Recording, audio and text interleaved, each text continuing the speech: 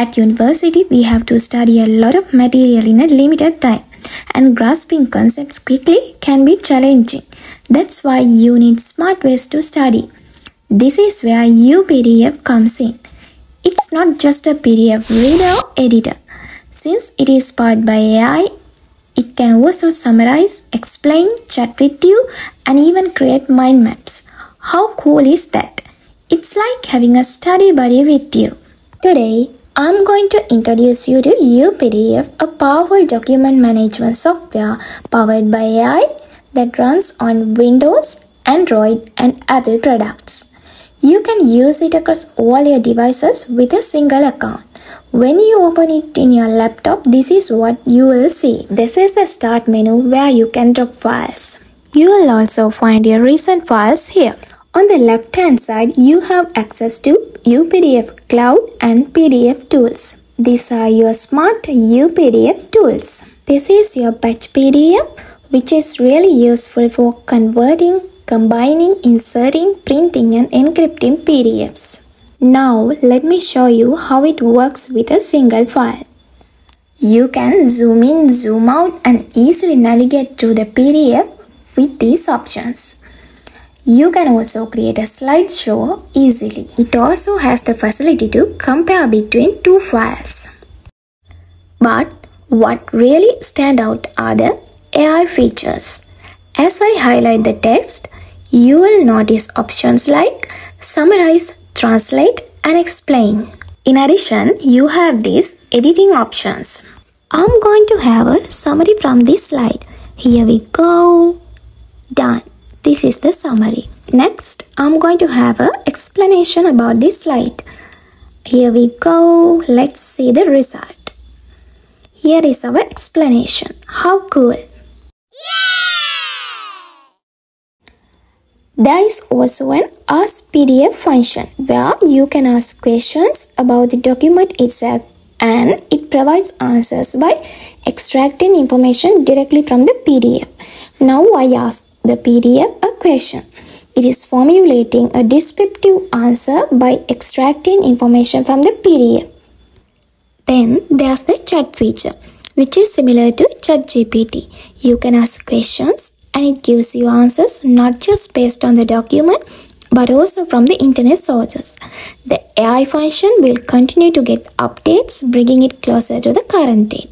Here, I'm going to get a summary from this PDF. It is rather long, but it's presented in concise bullet points that cover the entire content effectively. Furthermore, you have these additional AI functions. You can further summarize it.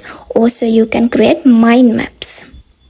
You have the OCR function here. For example, if you have a scanned PDF and you want to make it editable, you can use OCR function. By going to edit PDF, you can write anywhere on the page. By turning on the text mode, I can type anywhere on this PDF. I'm writing here and then I'm writing here. Since we are talking about editing, it's not just text. You can also edit images. You can move, copy, replace, crop, rotate or delete them. All very advanced and useful features. You can also add links to PDFs. There are extensive export options, allowing you to export your PDF to Word, PowerPoint, Excel, image and many more. Additionally, you can set password to protect your document. You can set permission to restrict editing and printing. There are sharing options too, like creating a link or email in the document, and you can save it in various formats. Let's move to the left side one. The commenting function is similar to what you would find in Mendeley, allowing you to highlight text and leave comments. This is Edit PDF tool which we used earlier. This is Prepare form where you can add checkboxes, buttons and so on. You also can add digital signature. There is also a redact function where you can find and redact multiple instances of sensitive information like your name. If you want to find multiple instances of a particular word, you can easily redact it from this. You can use this function find text and redact.